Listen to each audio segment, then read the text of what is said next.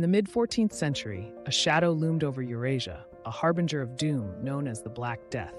Beginning in Central Asia, this bubonic plague carved a path of despair along trade routes, reaching Europe's core. It spread rapidly, turning towns and cities into epicenters of suffering. Respecter of neither borders nor social class, the plague was a horrific equalizer. The initial societal reaction varied from denial to panic. Some sought comfort in faith or science, others were paralyzed by the catastrophe. The disease laid bare humanity's fragility, challenging medieval certainties.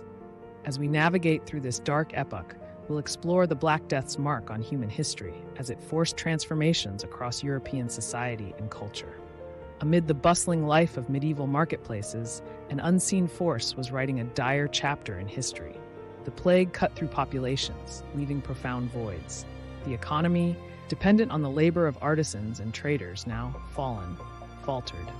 This seismic shift signaled lasting changes. The pandemic strained social fabric, challenging the structures of society as institutional privilege came under scrutiny. The Black Death thus became a catalyst for a reshaped European civilization.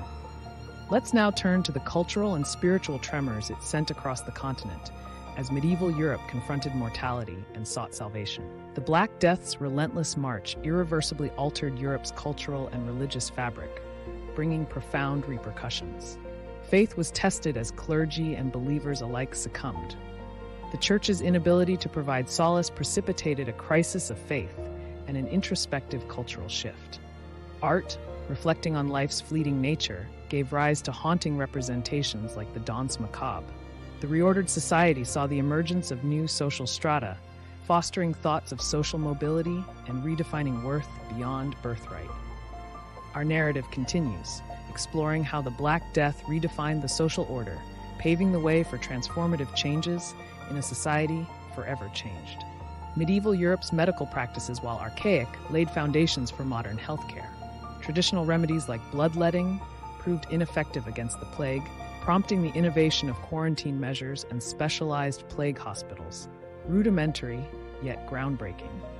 These early steps in public health, though born from urgent necessity, represented a significant evolution of societal responses. We'll now examine how the Black Death sowed the seeds of medical innovation heralding the beginning of systematic healthcare. Our exploration concludes with the Black Death's lasting impact. With a significant population reduction, the survivors faced a new social order, characterized by increased wages and better living standards for commoners. Beyond its physical toll, the plague spurred societal reliance on innovation, propelling advances in public health. The shared ordeal fostered a unity and resilience that shapes our responses to modern health crises. We close our chapter on the Black Death, recognizing the duality of its legacy.